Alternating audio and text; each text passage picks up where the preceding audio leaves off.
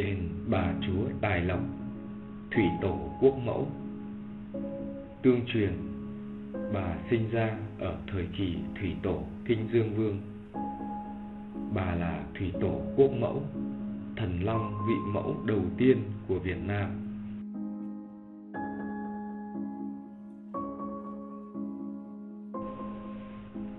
Hóa thân là bà chúa Tài Lộc, chuyên ban phát tiền bạc và thóc gạo cho dân nghèo. Bà cai quản kho vàng, kho bạc, dùng vào việc trang bị cho việc trị nước của thủy tổ Kinh Dương Vương.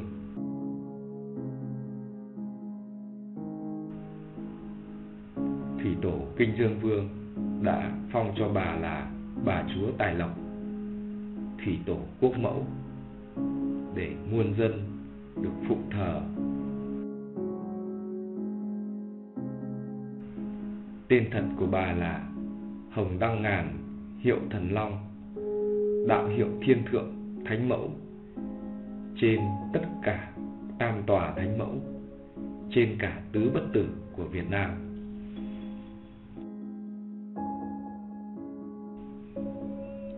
Gần đền thờ có giếng mắt thần mãng xà.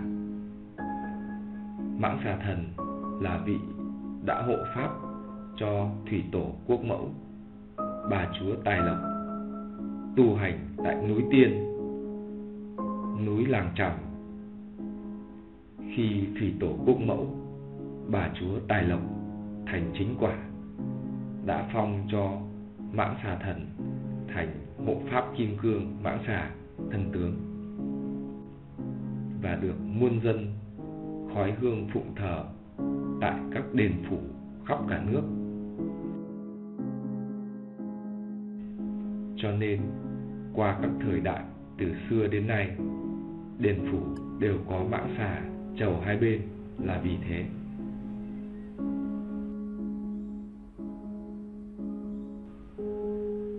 Ngoài cầu tài, cầu lộc, cầu bình an, đền còn là nơi cầu duyên nổi tiếng cho các lứa đôi.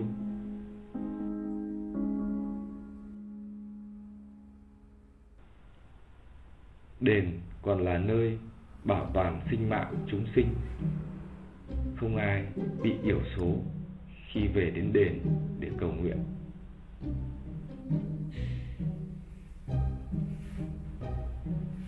Thủy tổ quốc mẫu, Bà chúa tài lộc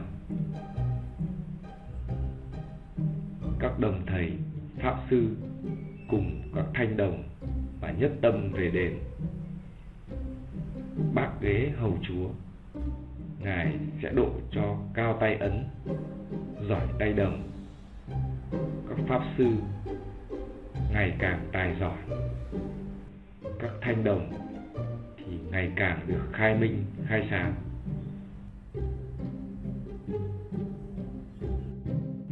Yên mệnh vị căn đồng. Gia đạo bình an, phát tài phát lộc.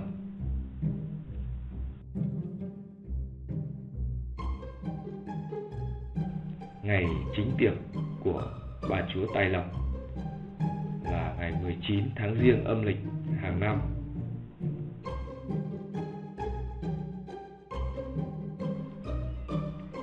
Hãy cùng với ký sự di sản UNESCO tìm hiểu thêm về đền bà chúa Tài Lộc và đền chúa Thoại qua thủ nhang Vũ Thị Bắc.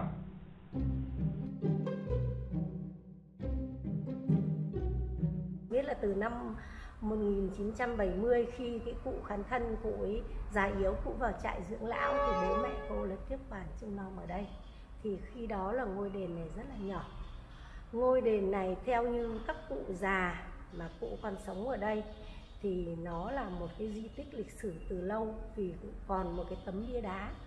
Nhưng tấm bia đá này về sau bị thất lạc, nó ra do là nước lên ngập lụt mà cái nhận thức của người dân lúc bấy giờ nó chưa được cao, cho nên là không có ý thức để lưu giữ được cái bia đá này. Tên cụ là chu văn thán 40 năm thủ từ tại đông cung đền và có viết lại cho bố mẹ cô một quyển sách nói về di tích lịch sử của ngôi đền này. Ngôi đền này gọi tên là hồng sơn tử.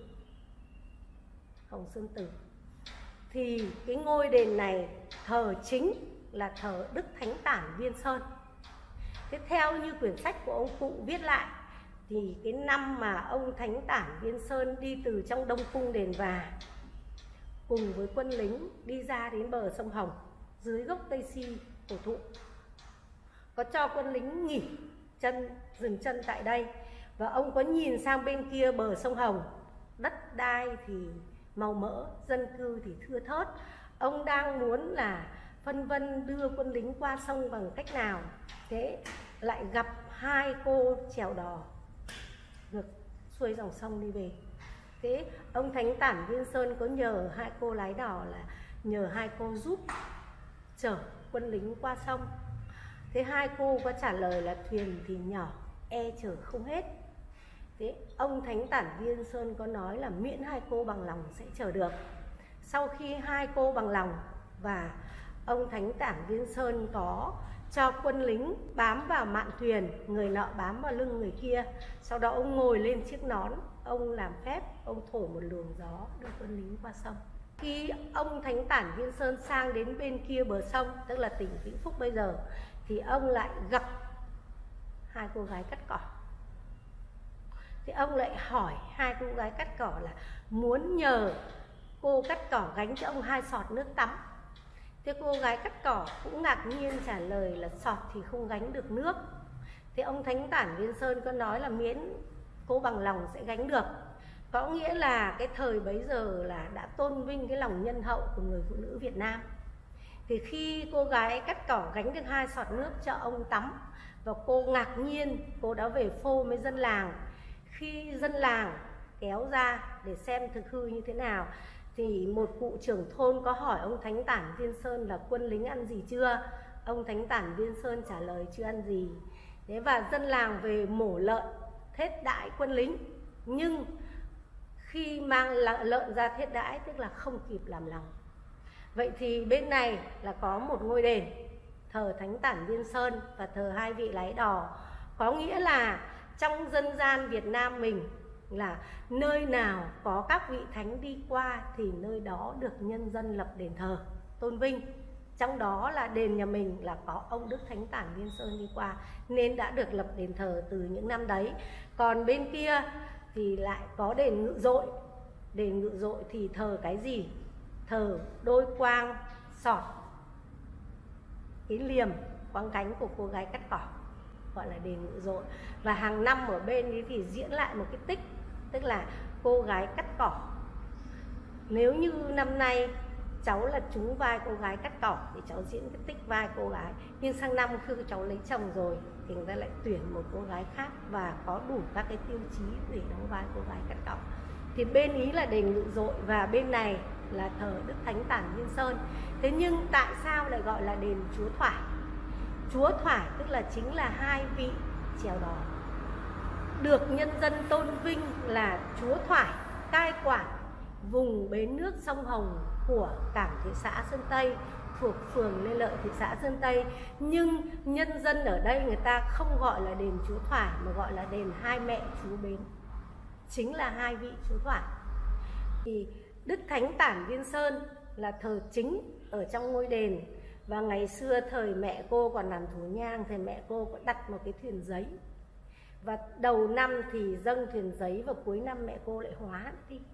Cho đến thời cô thì cô không dùng thuyền giấy mà cô đã thuê tạc một cái thuyền gỗ như ảnh ở đây. Và như cái thuyền gỗ cô làm ở trong này. Thì biểu tượng của cô, tức là đền này, là có thuyền này, có hai vị chúa thoải, có cái nón. Và biểu tượng của ông Đức Thánh Tản Viên Sơn, có Nga là biểu tượng của ngôi đền nhà cô, là ngôi đền chúa thoại thế nhưng khi người ta mới lại thấy một cái bát hương cô thờ ông xích hổ lại nằm ở dưới gốc cây si vì lúc bây giờ cái, cái cây si chỗ này cô đặt ở chỗ này. Người ta chụp ảnh người ta bảo đây là báu vật của nhà đền. Và người ta giải thích cho cô là bát hương này từ thế kỷ thứ 17 có nghĩa là ngôi đền này là không dưới 400 năm.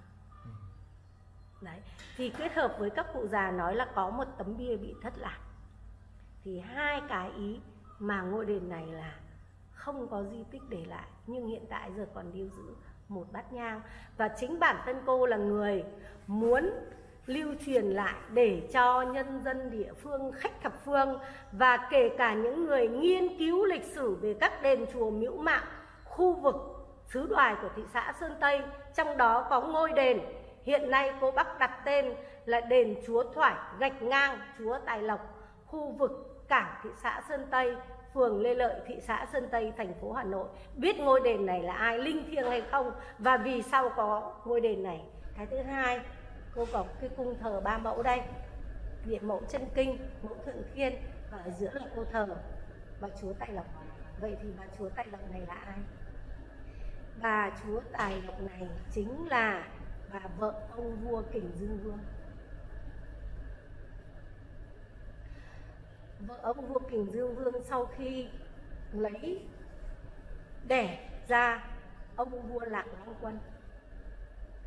Ông vua Lạc Long Quân khi được lên làm vua, có nghĩa là bà thủy tổ quốc mẫu thần long hồng đăng ngàn tiên chỗ bà tài lộc bà đã hết việc trần và bà lại thăng về cõi tiên là bà hóa thân thành bà chúa tài lộc bà chúa tài lộc tên đầy đủ, hoàng thiên phật mẫu, thủy tổ quốc mẫu, thần long hồng đăng ngàn tiên chú bà tài lộc.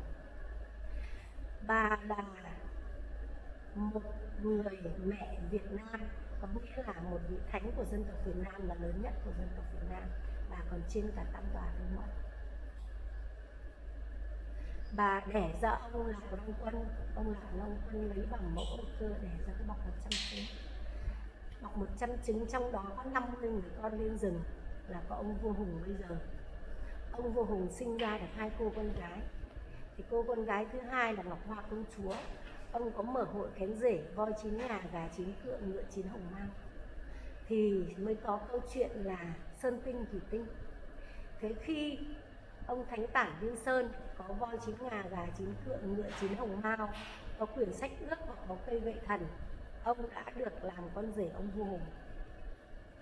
Vậy thì ông vua hùng là cháu nội và thủy tổ cung mẫu ngồi đây.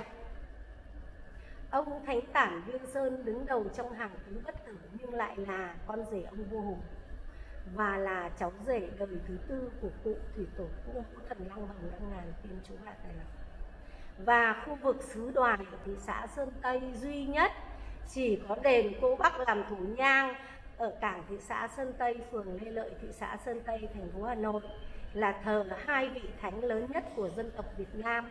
Đó là Hoàng Thiên Phật Mẫu Thủy Tổ Quốc Mẫu Thần Long Hồng Đăng Ngàn Tiên Chú Bà Tài Lộc. Bà là Hoàng Thiên Phật Mẫu Thủy Tổ Quốc Mẫu, bà trên cả tam tòa thánh mẫu và thờ ông Đức Thánh Tản Viên Sơn đứng đầu trong hàng tứ bất tử nhưng lại là cháu rể đời thứ tư của cụ Thủy Tổ Quốc Mẫu và cô Băng là duy nhất ở khu vực xứ đoài, thị xã phương Tây có thờ bà